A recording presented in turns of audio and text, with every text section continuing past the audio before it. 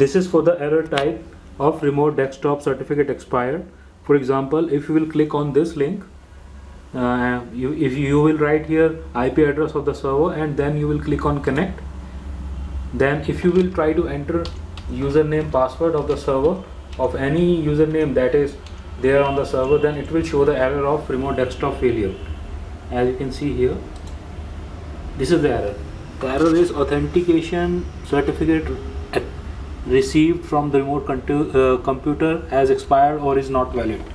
So we will here solve this error.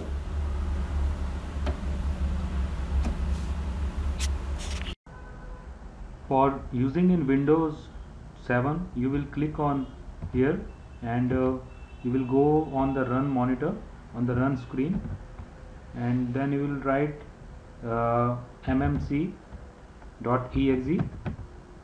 or simply write mmc and press enter. It will ask for administrative permissions. Make sure that you are having it.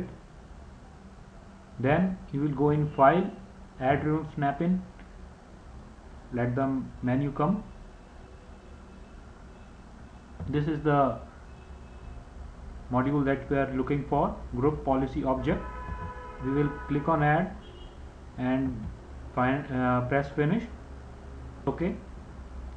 Then in local computer uh, policy we will go in computer configuration. We will go in administrative templates. Inside administrative templates we will go in windows components. Inside window components we will go in remote desktop services. Uh, there is there is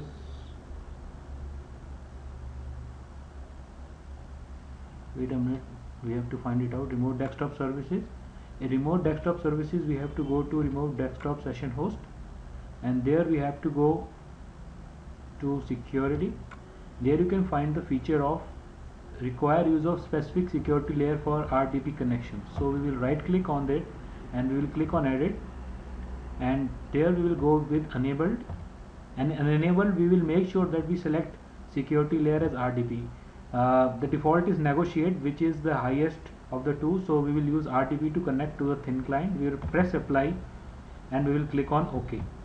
Uh, after doing that we will restart the windows or we can simply uh, restart services. So I'm gonna here show you to simply restart services. In services you will go in remote desktop services and you will click or uh, right click on it and then we will click on restart. It will allow further services also. So make sure that you select them as well. Yes.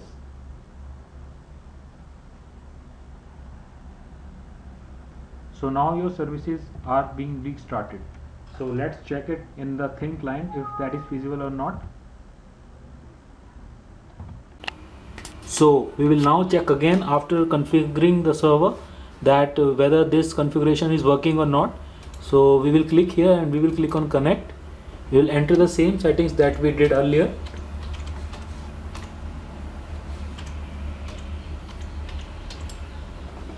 And we will click on ok. This time it asks for a different screen. So that is a ghost shine. We will click on don't show for this message and here we go here we are now connecting to remote desktop and please note that I have not changed the uh, setting of date and time of the thin client earlier. Thank you for watching. Hope for more resolution there. Uh, one more thing for 24-bit uh, color system. If you want to enable 24-bit color system then you can find the same option there in administrative templates and uh, for enforce the desktop color depth for remote desktop session to 24-bit color only but that 24-bit color will work only with Windows XP or Windows 2003 or 2000 because Microsoft had discontinued 24-bit color support for Windows 7, 2008 and its future version because now Microsoft 7 only supports Windows 7 only supports Windows 32-bit and 16-bit version